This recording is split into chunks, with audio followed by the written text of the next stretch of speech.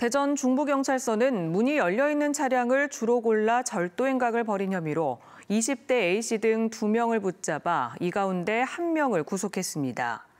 이들은 지난달부터 최근까지 대전과 경기, 강원 등 전국의 주차장을 돌며 문이 잠기지 않은 승용차에 들어가 열쇠가 있으면 훔쳐 타는 수법으로 차량 6대를 훔친 혐의를 받고 있습니다. 경찰은 절도 피해를 막기 위해서는 차량 문을 반드시 잠그고 안에 귀중품을 두지 말 것을 당부했습니다.